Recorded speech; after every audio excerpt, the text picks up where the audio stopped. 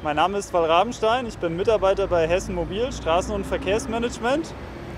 Hessen Mobil führt in den nächsten drei Monaten eine Deckenerneuerung auf der Bundesstraße B455 zwischen Dorheim über Wölfersheim bis Grundschwalheim eine Deckenerneuerung durch.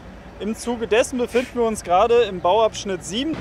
Wie man sieht, ist zwischen Bärstadt und Grundschwalheim die bestehende Fahrbahndecke 12 cm abgefräst, die Fräsfläche gereinigt und in den kommenden zwei Wochen wird diese Fläche mit 12 cm Asphaltaufbau erneuert.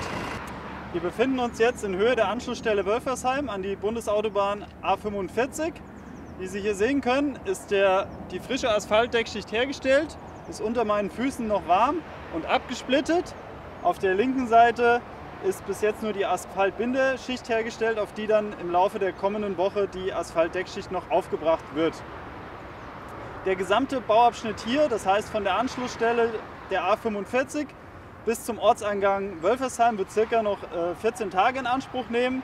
Dann wird dieser Bereich äh, markiert und wieder für den Verkehrsteilnehmer freigegeben. Wir befinden uns jetzt am Ortsausgang von Wölfersheim Richtung äh, Autobahn A45. Wie Sie hier sehen, ist die Binderschicht komplett fertiggestellt. Im Laufe des heutigen Tages bzw. morgen wird halbseitig die Deckschicht eingebaut. Die restlichen Deckschicht-Asphaltarbeiten werden im Laufe der nächsten Woche durchgeführt.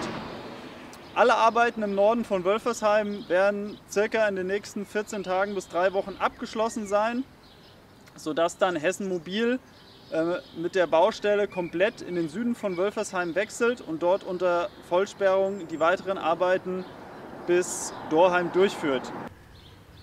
Hessen Mobil wird mit der Baumaßnahme der Deckenerneuerung auf der B455 im Raum Wölfersheim circa Ende August 2012 fertig sein.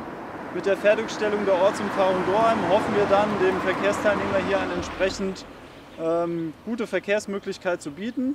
Wir bitten während der weiteren Bauzeit alle Verkehrsteilnehmer um Verständnis und hoffen, dass wir sie so weit es gehend möglichst wenig beeinflussen. Vielen Dank.